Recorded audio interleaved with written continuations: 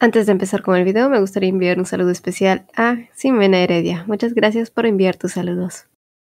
Muy buenas familia y bienvenidos al canal. El día de hoy vamos a seguir con la onceava parte y final de la segunda temporada de La Emperatriz Divorciada, un manga que está siendo publicado en Webtoon. Los links estarán disponibles en la descripción de este video. Por otro lado, si esta es tu primera vez por aquí, permíteme invitarte a ser parte de esta hermosa familia, así que suscríbete y activa la campanita para no perderte ninguna actualización. Subo reseñas, narro historias, hago recomendaciones y más.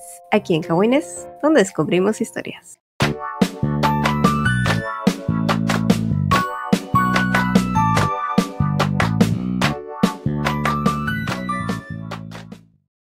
Navier decidió tomar un paseo mientras iba pensando en su situación actual.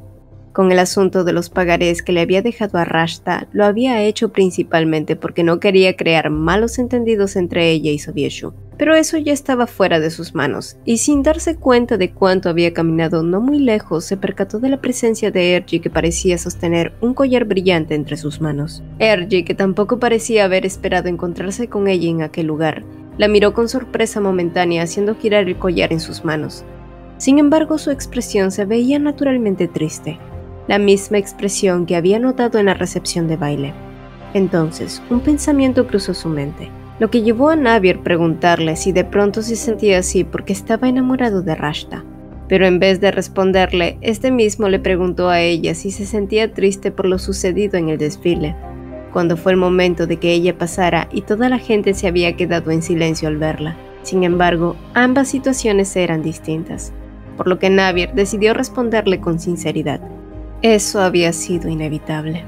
Fue entonces cuando Ergi le respondió del mismo modo, pero la tristeza inicial se tornó fría mientras murmuraba, la gente solo recuerda lo malo que uno haga independientemente de lo demás. Te darán la espalda de inmediato y se olvidarán del resto. Tras escucharlo, Navir se preguntó si él había experimentado algo similar o hablaba de alguien cercano. Y quizás, si ambos hubieran sido amigos, ella le hubiera preguntado, ¿qué fue lo que te pasó? Pero su relación no era de ese tipo, así que se despidió de él.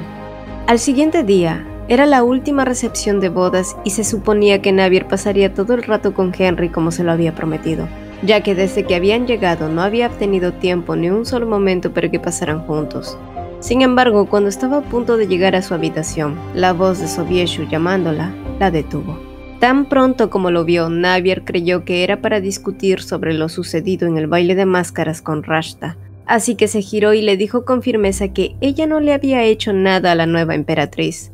Pero para su sorpresa, Sobieshu se mostró desconcertado y hasta un poco herido por sus palabras, pues según él, jamás hubiera creído que Navier fuera capaz de algo así.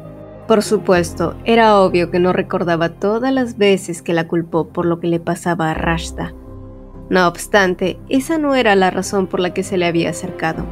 De hecho, lo que pretendía era tener una conversación en privado con Navier. Sin embargo, esta misma se negó y le pidió que sea lo que sea que tenía que decirle, lo hiciera en ese mismo instante, pues no quería estar a solas con él en la misma habitación.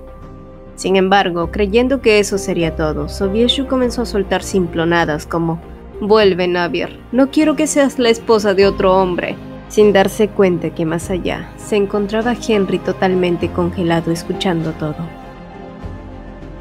Mucho más tarde, Henry estaba totalmente ansioso.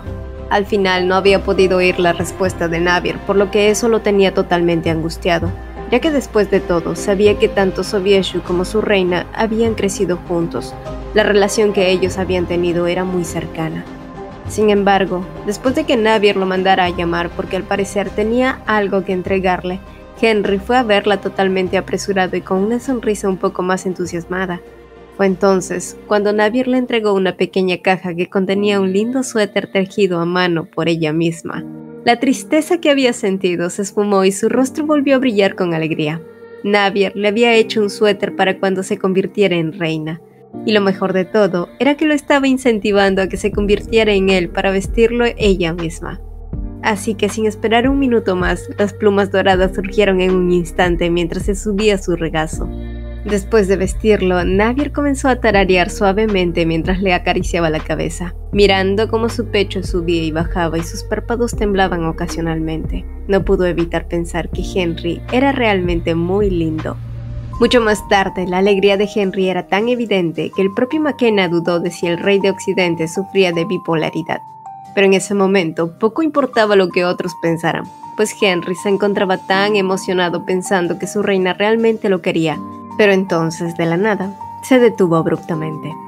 Con los planes de su boda en marcha, era obvio que una vez que él y Navier fueran marido y mujer, tendrían que pasar su primera noche juntos.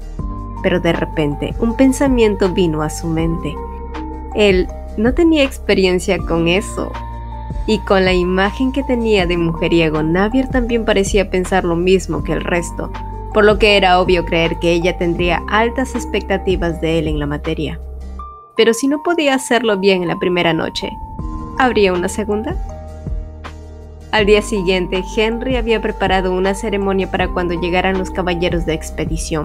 Navier, cuyas preocupaciones eran de que la gente de Occidente ignorasen a su hermano como había pasado con ella en Oriente, pronto se quedó atónita al ver cómo su hermano lideraba la caballería y lejos de ser ignorado, la gente parecía vitorear su nombre e incluso emocionarse de verlo ahí. Ante esa vista, el pecho de Navier se hinchó de orgullo y se sintió conmovida.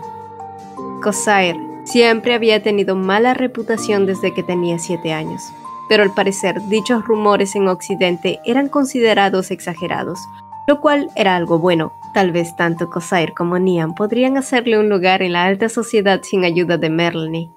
Unir fuerzas con ella podría ser muy beneficioso para encajar en la alta sociedad de Occidente, pero tomar ese camino representaba perder a la otra parte que apoyaba a Krista. Si bien era cierto, no podía caerle bien a todo el mundo, tampoco quería ganarse enemigos al mismo tiempo. El Salón de las Estrellas era un lugar que hacía honor a su nombre. Innumerables tipos de joyas brillaban como estrellas en el cielo. En el medio, una larga alfombra se extendía hasta el trono en donde se encontraba el rey Henry. Kaufman no perdió su oportunidad para felicitarlo por su ascenso, lo cual Henry agradeció. Después de eso, ambos se quedaron mirando sin decir una palabra. Por un lado, recordando la última vez que se habían visto, Kaufman sonrió ante los pensamientos de Henry, pues podía escucharlos y curiosamente coincidían con los de él. Sin embargo, pronto su sonrisa se esfumó cuando Henry le dijo que esperaba que lo felicitara por su boda con Navier. Poco después, una tormenta invadió su cuerpo cuando volvió a escuchar los pensamientos de Henry preguntándose qué hacer si el duque se acerca demasiado a su reina. Sin poder evitarlo, se dejó arrastrar por la tormenta y su boca se abrió por sí sola. Será como un sueño verla usar el vestido de novia. Henry, quien no estaba seguro de si había escuchado bien, le preguntó a Kaufman a qué se refería. Pero el duque torpemente le pidió que olvidara sus palabras, pues no quería volver a ser expulsado de un lugar tal como había sucedido en Oriente. Por su parte, Henry ya se encontraba ofendido, repitiéndose a sí mismo una y otra vez, debo contenerme, debo contenerme, debo contenerme. Soy diferente a Sobieshu, no me dejaré llevar por los celos. Mi reina dijo que soy lindo, pero esos pensamientos no hicieron más que avivar los celos de Kaufman. Mientras tanto, la expresión de Sobieshu también era oscura. La carta que había recibido fue aplastada entre sus manos al darse cuenta que se trataba de las invitaciones de boda que Henry había firmado. El rostro de Navier y la incesante repetición de su voz diciéndole no hicieron que le doliera la cabeza.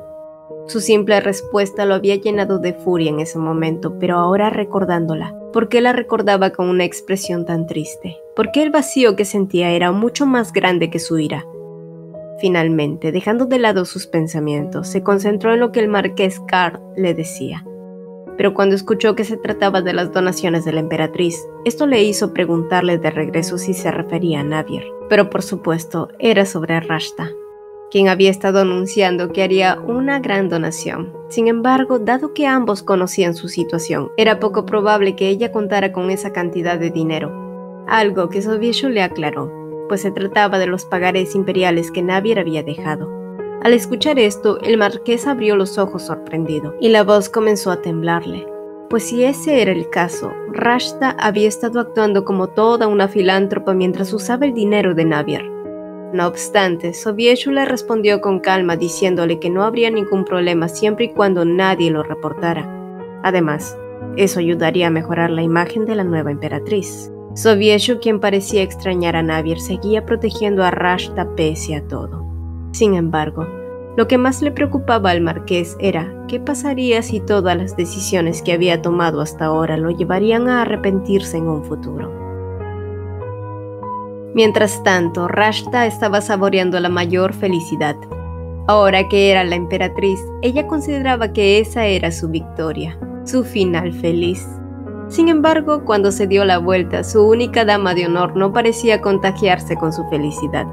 Así que cuando se lo preguntó de malas maneras, ésta rápidamente le dijo que se suponía que el salón debería estar lleno de regalos de los nobles, pero por lo contrario, este se encontraba vacío.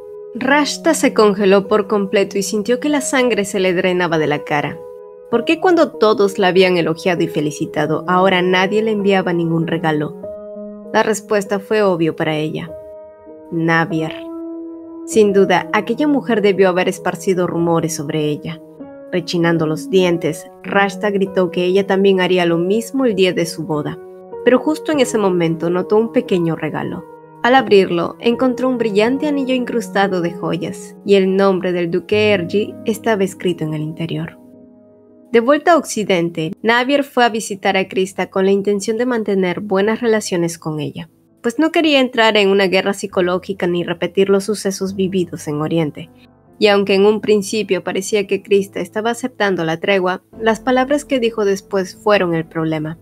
Ella quería mantener una sana distancia, una situación que la favorecía solo a ella. Siendo ese el caso, Navier decidió cambiar de táctica, así que pidió que le enviaran un ramo de coridalis y gailardias a Merlane, en el lenguaje de las flores, esto significaba cooperación en secreto. Momentos después, Navir saludó a Kaufman tras un largo tiempo sin verlo, pero al notar su expresión extremadamente avergonzada, le sugirió que fuera a descansar, sintiéndose realmente preocupada de que los efectos de la poción siguieran afectándolo y preguntándose si era posible continuar con las negociaciones que tenían pendientes. Sin embargo, mientras el duque se iba, una de las damas de compañía de Krista corrió apresurada a verle y contarle que había visto al gran duque salir del palacio de la reina con una expresión totalmente ofuscada. Fue entonces que le sugirió a la ex reina que usara el renombre y la belleza exótica del duque Kaufman para ganar la simpatía de las jóvenes nobles, tal como lo estaba haciendo Cosair con Navier. Una mesa grande estaba puesta en el jardín y cubierta por platos extravagantes. Mientras los nobles admiraban la comida, se sorprendieron aún más al ver a Rashta cubierta de un vestido rojo similar al que solía usar la emperatriz Navier. No era exactamente el mismo diseño, pero definitivamente estaba cerca de serlo. Las risas burlonas y las miradas de intercambio fueron totalmente ajenas a Rashta, que lo único que quería era demostrar a todos los demás quién era ahora la dueña del palacio de la emperatriz. Sin embargo, el marqués Falcon no pudo mostrar su aprobación y con evidente veneno en la voz le dijo que sentía toda esta situación irónica, pues la autoproclamada emperatriz de los plebeyos ahora estaba tratando de crear conexión con los nobles. Rashta frunció el ceño ante esto. Momentos después, Gruesas lágrimas caían por su cara quejándose con el duque Ergi, pues ella solo había seguido sus consejos tal y como él se los había sugerido. Y a pesar de lo profundamente molesta que ella se encontraba, Ergi solo le mostró una sonrisa indiferente mientras le decía que ella era demasiado ingenua si pensaba que le iba a agradar a todo el mundo. Pero su majestad no tenía por qué preocuparse, ya que la nobleza cambiaría de opinión, ya sea con la ayuda de Sobieshu o con el bebé que pronto nacería. Sintiéndose más aliviada, Rashta se disculpó con él. Sin embargo, al notar cómo el duque ahora tenía un trato más desapegado que antes, le preguntó por qué estaba siendo tan distante con ella. Por supuesto, Ergi ya no podía tratarla con tanta familiaridad ahora que ella era la emperatriz. Rashta lo miró atónita y gritó entonces que eso no era posible, que su amistad no debería ser así. Además, ella no tenía a nadie más en quien confiar más que en su único amigo. Aún así, Ergi le dijo que estaba el emperador Sobieshu para ella, y a pesar de que Rashta amaba al emperador, le dijo que no podía confiar en él. Al darse cuenta de lo que había dicho, se puso nerviosa y trató de cambiar sus palabras, pero el duque solo se rió de eso, aparentemente sin encontrarlo mal. Un poco más aliviada, Rashta le pidió que mientras ellos dos estuvieran a solas, siguiera tratándola con la misma comodidad, las esquinas de los ojos de Ergi se curvaron extrañamente. Su expresión parecía como la de una bestia saciada, pero ella ni siquiera lo notó. Estaba más concentrada en su ansiedad de perder a la única persona que estaba a su lado. Solo entonces, cuando Ergi la llamó por su nombre, Rashta finalmente se relajó. Un día después de la visita de Ergi fue cuando Rashta le dijo al varón Lante que ella ya no requería sus servicios, pues ahora que ella era la emperatriz, se haría cargo de la administración de su propio dinero. Pero qué amarga fue su sorpresa cuando el varón le dijo que la última palabra la tenía el emperador y sin su autorización, ella no podía hacer nada. Mientras tanto, en Oriente, la celebración de la boda estaba a tan solo una semana. Muchas personas ya habían llegado de todos sitios y además la respuesta de Merlani también, quien aceptaba su alianza en secreto. Sin embargo, aún había un tema que le preocupaba mucho a Navier, y era la primera noche de bodas. Y aunque ella tenía experiencia previa, no creía que le serviría de mucho en este caso. De repente, el recuerdo de Sobieshu aquella vez pidiéndole que regresara con él le pareció una petición ridícula. Ella se había convertido en la primera emperatriz divorciada que se volvió a casar. ¿Acaso él pretendía que se volviera a divorciar para volver a casarse?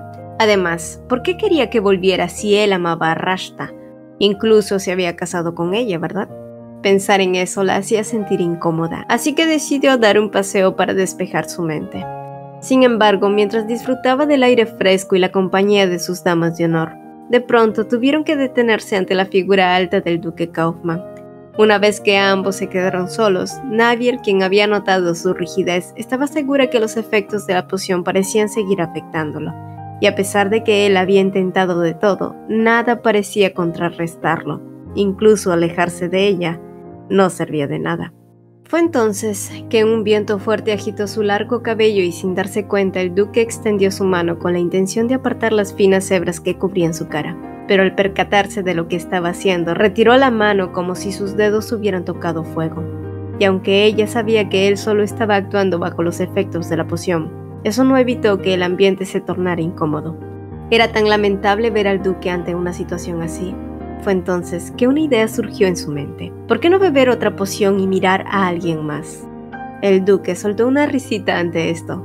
Ya era bastante doloroso amar a una persona como para poder soportar amar a una segunda. Navier miró al duque con aflicción mientras pensaba que el hombre frente a él era tan orgulloso. Kaufman no pudo evitar suspirar ante la voz interna de Navier.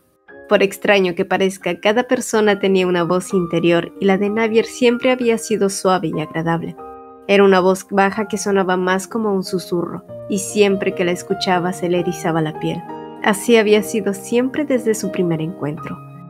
Una vez Navier se hubo ido a otra parte con sus doncellas, Kaufman decidió regresar a su habitación. Sin embargo, una mujer desconocida estaba frente a su puerta. Era Krista continuará. Y bueno chicos, aquí cerramos la segunda temporada de La Emperatriz Divorciada.